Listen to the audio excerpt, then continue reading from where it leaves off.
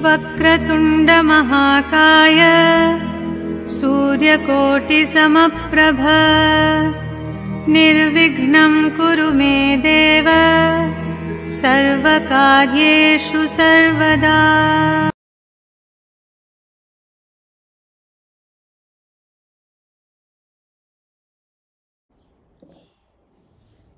สวัสดีค่ะ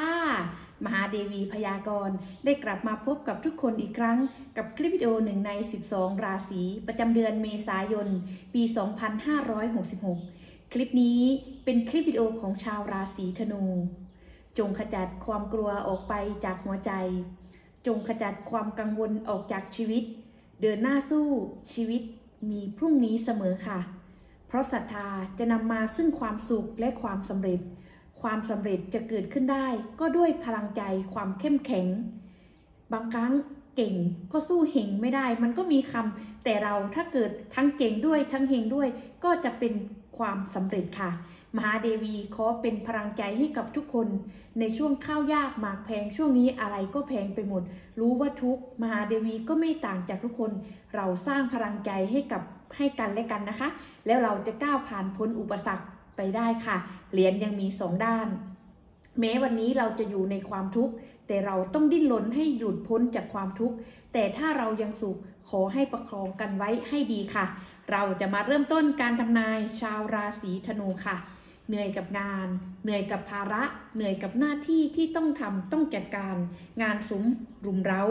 สิ่งศักดิ์สิทธิ์ศาสตร์ขององค์มหาเทพจะนำทางให้ก้าวผ่านพ้นอุปสรรคจะได้โชคจากสิ่งศักดิ์สิทธิ์ การติดต่อการเจรจาจะประสบความสำเร็จค่ะ การพูดการพบจะปะการประชุมการสังสรรค์ จะพบเจอกับสิ่งที่ดีๆ ค่ะ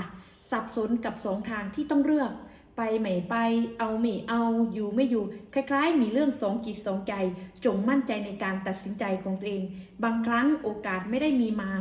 บ่อยเสมอไป เพราะฉะนั้น ตัดสินใจให้ดีๆ ค่ะ บางครั้งสิ่งที่คิดสิ่งที่หวังมันเหมือนไกลเกินไปที่เป็นไปได้ เกณฑ์ของความรักอาจจะมีเกณฑ์การพัดพรากการจากกลาการจากไกลเกิดขึ้นค่ะ เงินระมัดระวังเกณฑ์การใช้จ่าย อาจจะมีเกณฑ์การติดขัดขัดสนเกิดขึ้น การเงินไม่เป็นดังเป้าหมาย ลูกหนี้ไม่ได้ดังใจค่ะ แต่จะได้โชคจากคนผิวสองสี คนผิวสองสีจะนำโชคนำสิ่งที่ดี ๆ มาให้ค่ะ คนมีคู่จะได้โชคจากครอบครัว หากใครยังโสดมีเกณฑ์พบเจอคนรู้ใจค่ะ คนอายุน้อย ลูกเด็กบริวาร จะทำให้ทุกข์ใจกลุ้มใจเป็นกังวลใจค่ะ ญาติผู้ใหญ่หัวหน้างาน จะนำอุปสรรคปัญหามาให้ อาจจะทั้งช่วยและทำให้ทุกข์ก็เป็นไปได้ค่ะ การเงินมีเข้ามาจ่ายออกไป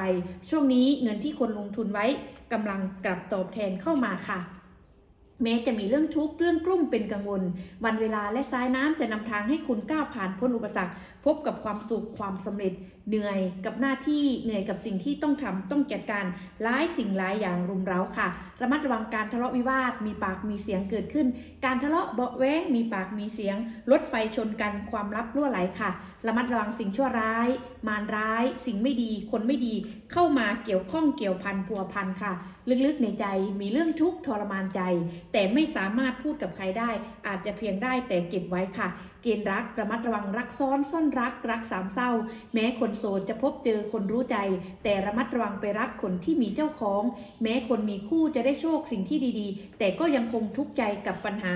รักสามเศร้าค่ะศาสตร์ของสิ่งศักดิ์สิทธิ์ศาสตร์ของมหาเดวี จะนำทางให้คนที่ศรัทธาบูชาพระองค์ก้าวผ่านพ้นอุปสรรค พบกับความสุขความสำเร็จค่ะ ค่อยๆเป็น ค่อย ๆ ไป บางครั้งไม่ใช่ว่าบูชาวันนี้แล้วจะได้เลย ค่อยๆ สะสมสร้างบารมี ทุกอย่างต้องใช้เวลา แต่เวลาของคนเราต่างกันออกไป บางคนใช้เวลาแค่ 10 วัน แต่บางคนใช้เวลาถึง 1 ปี 2 ปี ทุกเพราะฉะนั้นเราอย่าท้ออย่าสิ้นหวังค่ะ สู้ไปข้างหน้าค่ะ สรุปสำหรับชาวราศีธนู ประจำเดือนเมษายน เกณฑ์ของความรัก คนโสดมีเกณฑ์พบเจอคนรู้ใจ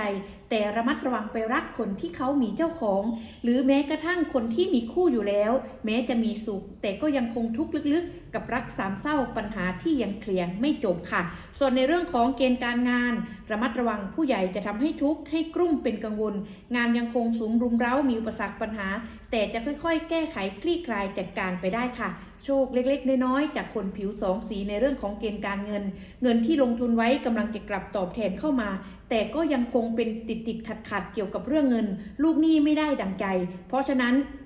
ช่วงนี้ระมัดระวังภาระค่าใช้จ่าย อย่างว่าเนาะภาระค่าใช้จ่ายเราไม่สามารถทำอะไรมันได้ เพราะฉะนั้นประหยัดหรือว่าหางานพิเศษเพราะจะมีเข้ามาอยู่ค่ะ เกณฑ์การเดินทางมีบ้างเล็กน้อย สุขภาพไม่ค่อยสบายเท่าไหร่ค่ะ